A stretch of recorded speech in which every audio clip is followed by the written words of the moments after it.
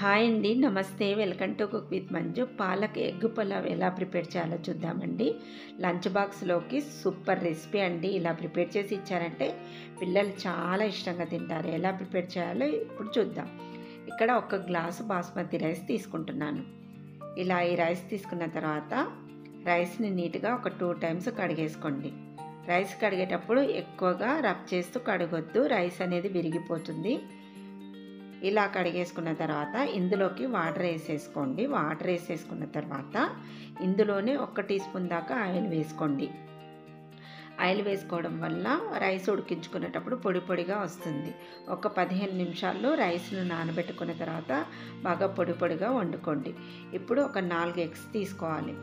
ఈ ఎగ్స్ను ఇలా బీట్ చేసి ఒక బౌల్లోకి వేసేసుకున్న తర్వాత ఇప్పుడు ఇందులో కొంచెం ఉప్పు వేసుకోవాలి. తర్వాత కొంచెం మిరియాల పొడి కూడా వేసుకోవాలి. వేసేసుకున్న తర్వాత ఇప్పుడు మనం ఈ ఎగ్ని బాగా బీట్ చేసుకోవాలి. బాగా నురుగులా వచ్చేంత వరకు కూడా బీట్ చేయాలండి. ఇలా బీట్ చేసేసుకున్న తర్వాత ఇప్పుడు ఒక స్టీల్ బాక్స్ తీసుకోండి. ఇందులోకి ఒక టీ స్పూన్ దాకా ఆయిల్ వేసుకోవాలి. ఆయిల్ వేసుకొని ఈ ఆయిల్ అంతా బాక్స్కు స్ప్రెడ్ చేసుకోవాలి. ఇలా ఆయిల్ అంతా ఇలా బాక్స్కు స్ప్రెడ్ చేసిన తర్వాత ఇందులోకి ఎగ్ బ్యాటర్ వేసుకోవాలి.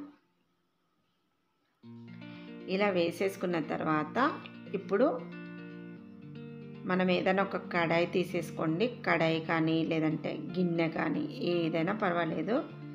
తీసేసుకొని ఇందులోకి వాటర్ వేసుకొని ఇందులో ఒక రింగ్ వేసుకోవాలి. వేసుకున్న తర్వాత ఈ బాక్స్ని ఈ రింగ్ పైన పెట్టేసుకొని దీనిపైన మూత పెట్టేసుకొని ఆవిరి పైన ఒక ఐదు నిమిషాలు ఉడికించుకోవాలి.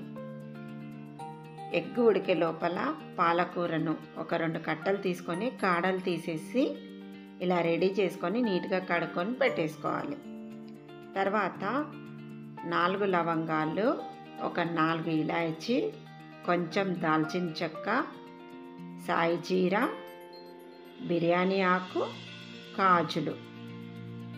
ఇవన్నీ రెడీగా పెట్టుకోవాలి. ఇప్పుడు పాలకూర కడుక్కొని మిక్సీ జార్లోకి వేసేసుకోవాలి. ఇలా వేసుకున్న తర్వాత ఇందులో పచ్చిమిరపకాయ ముక్కలు ఇలా తుంచుకొని వేసుకోండి.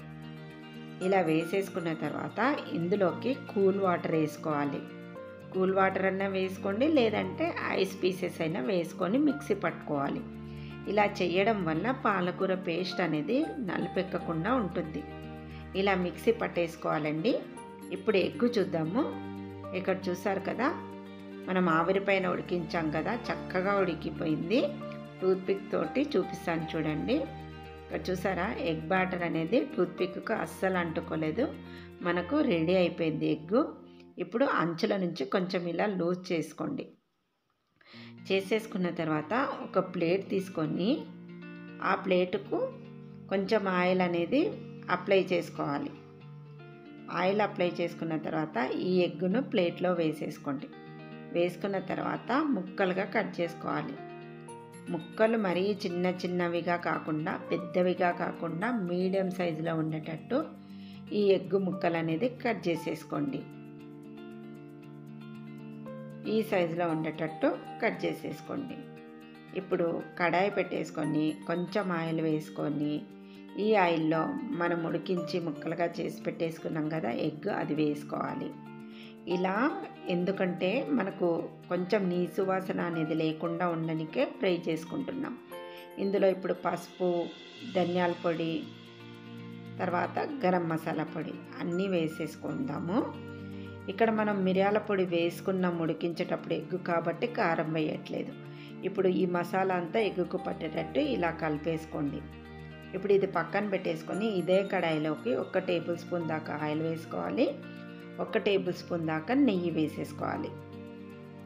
ఇలా రెండు వేసేసుకున్న తర్వాత ఇప్పుడు ఇందులోకి హోల్ గరం మసాలా వేసుకోవాలి.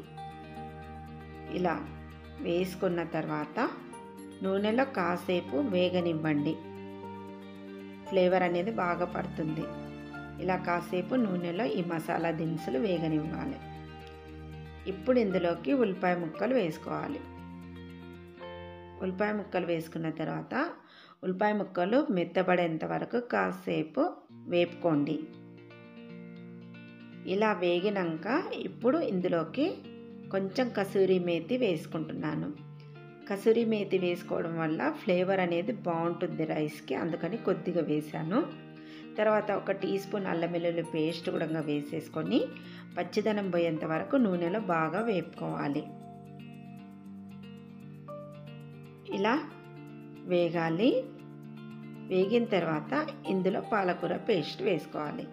ఇక్కడ చూసారు కదా కూల్ వాటర్ వేసుకొని మనం మిక్సీ పట్టేసుకున్నందుకు మంచి గ్రీన్ కలర్లోనే ఉంది పేస్ట్ ఇప్పుడు మనం పచ్చిది వేసుకున్నాం కాబట్టి పచ్చిదనం పోయేంత వరకు మూత పెట్టేసుకొని ఒక టూ మినిట్స్ మగ్గించుకున్నామంటే ఇక్కడ చూసారు కదా కలర్ చేంజ్ అయిపోయింది. ఇప్పుడు ఇందులోకి ఉప్పు మిరియాల పొడి తర్వాత గరం మసాలా నెక్స్ట్ ధనియాల పొడి వేసేసుకోవాలి. మనం పచ్చిమిర్చి వాడినాం కదండి కారం వేయవలసిన అవసరం లేదు.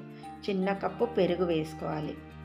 వేసేసుకున్న తర్వాత ఈ మసాలాలన్నీ ఈ పాలకూర పేస్ట్లో కలిసేటట్టు ఇలా కలిపేసుకోండి.